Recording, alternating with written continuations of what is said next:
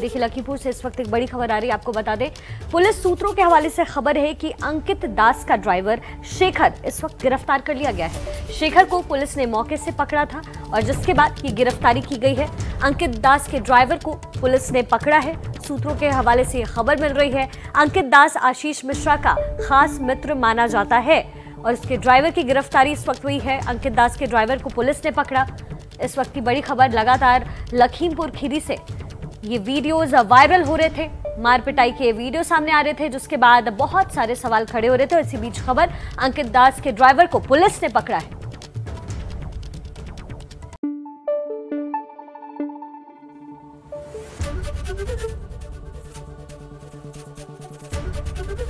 ABP news आपको रखे आगे।